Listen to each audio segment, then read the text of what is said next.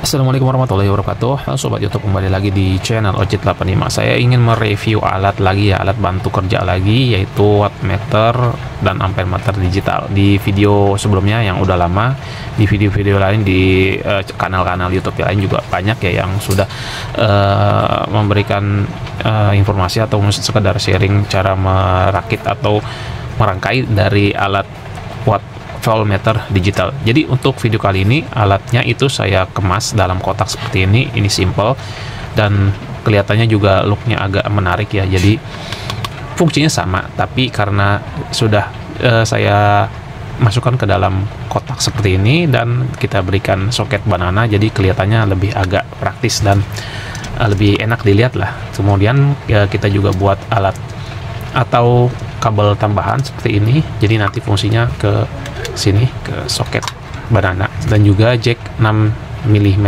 ya ini untuk inputan. Jadi inputnya sini sudah saya berikan tanda. Nah lalu bagaimana cara merangkainya? Oke yang pertama kita akan breakdown dulu. Kita akan buka. Nah hanya saja kalau misalnya teman-teman pengen ditambahin selain dari soket banana bisa. Teman-teman bisa lihat di sini ya ini cukup di solder aja. Nah bagaimana caranya kita merangkai teman-teman? Lihat uh, video ini ya. Oke teman-teman di sini bisa dilihat untuk wiringnya. Pada displaynya ini ada 5 kabel. Ya dua kabel merah dan hitam ini yang agak besar. Kemudian warna kuning merah dan hitam ini yang agak kecil. Jadi untuk sumber atau input power sumber daya ya bisa dari baterai bisa dari aki ini di sini. Nah kemudian loadnya ini ini beban.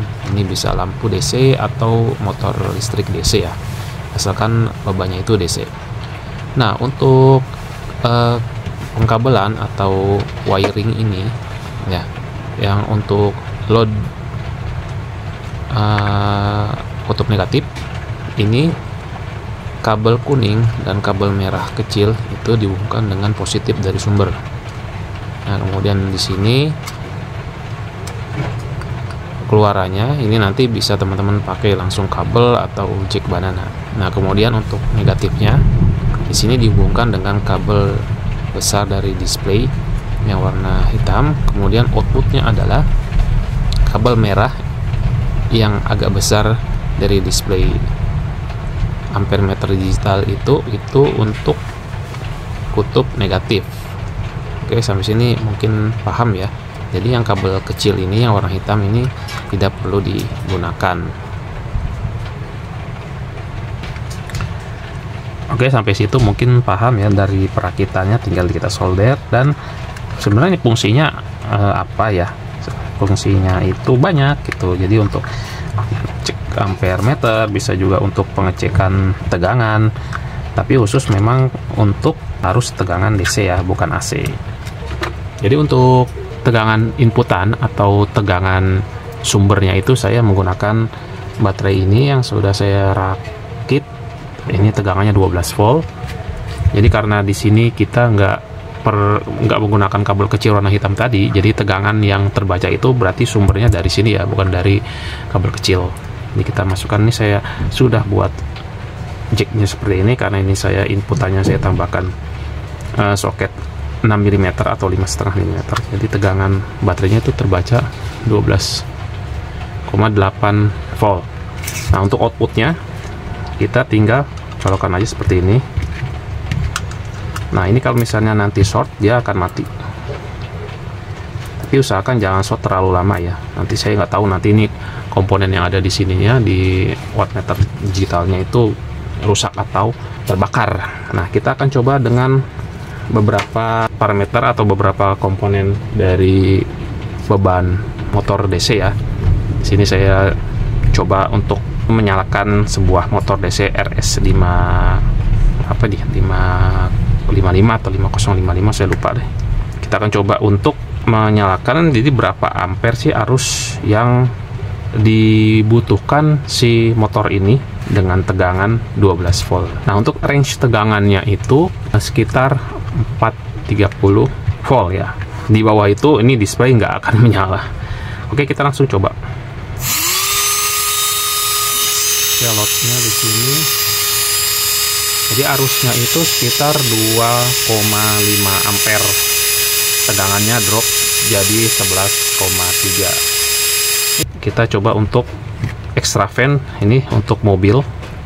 Extra fan evaporat eh kondensor atau radiator. Oke tegangannya 11,8 dan arus konsumsinya itu sekitar 1,27 ampere. Ini nggak terlalu besar. Oke selanjutnya kita akan coba untuk mengetahui kon, uh, konsumsi arus di lampu LED sepeda motor ini.